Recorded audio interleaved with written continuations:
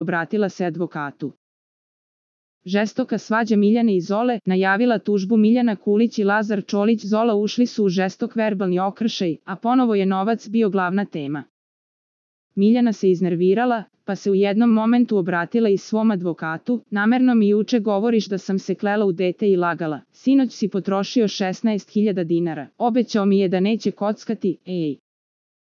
Toliko sam ja para davala zbog tvoje kocke apelujem na advokata da podnese tužbu, poručila je Miljana. Kad se posvađamo, ne daš mi cigarete. Jesi se klela u dete i slagala, ja znam za tu situaciju, govorio je Zola. Vidim prosi danas po kući, a sve je pojeo.